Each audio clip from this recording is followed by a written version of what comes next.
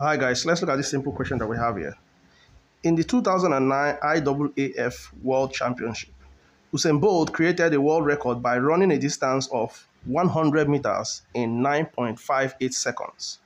We are told to calculate his speed in meter per second and kilometer per hour. So for us to do this, we need to know the formula for speed, okay? Speed is equal to speed is equal to distance covered all over time taken. And we are told from the question that he ran a distance of 100 meters within a time period of 9.58 seconds. So wherever I'll see distance, we'll put 100, and wherever I'll see time, we put 9.58, okay? So we have 100 divided by 9.58. So when you divide 100 by 9.58, your answer will be equal to 10.44 meter per second. So remember, the distance is in meters and the time is in second.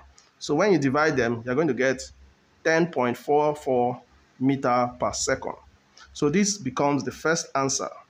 The second answer we are supposed to get is in kilometer per hour. Okay, so we've gotten the answer in meter per second.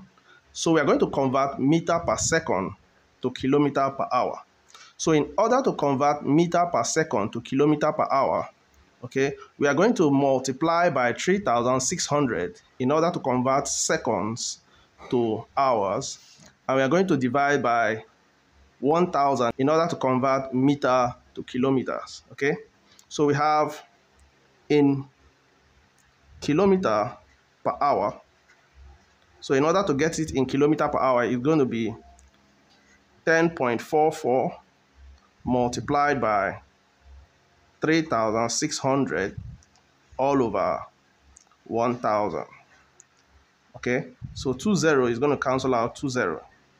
So we have 10.44 multiplied by 36 all over 10.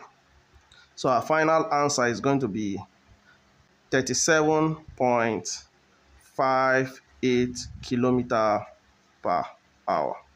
That's very fast. So this is a simple way to calculate speed in meter per second and then in kilometer per hour when we are given the values in meters and second. If you enjoyed this video, don't forget to like the video, share with your friends, and subscribe to this YouTube channel for more maths content. See you in the next video. Bye.